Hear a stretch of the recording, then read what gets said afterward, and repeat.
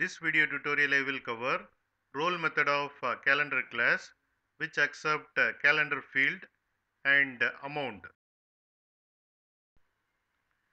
Here I have defined the class uh, calendar demo. Here I have created a calendar object. Then I am displaying uh, month. Month is uh, 8. Then I am calling uh, roll method of uh, calendar object and uh, passing uh, calendar field as uh, month and uh, amount as 2. So 2 more months will be added. So 8 will be increased to 10.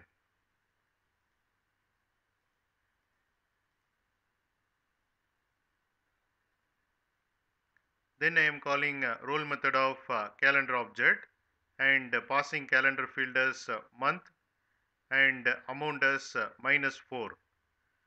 So 4 months will be reduced. So 10 will be reduced to 6.